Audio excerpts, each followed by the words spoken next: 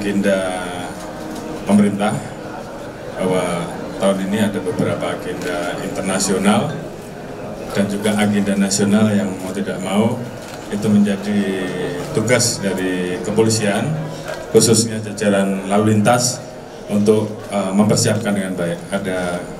kegiatan ASEAN Summit dan juga beberapa event internasional lain yang tentunya kita harus amankan, kita kawal, dan tentunya karena ini adalah pertaruhan uh, bangsa kita, negara kita, saya minta tadi jajaran Kakor Lantas untuk mempersiapkan dengan baik sehingga pengalaman pada saat kita melaksanakan pengawalan, pengamanan pada saat KTT G20 ini bisa menjadi story sukses yang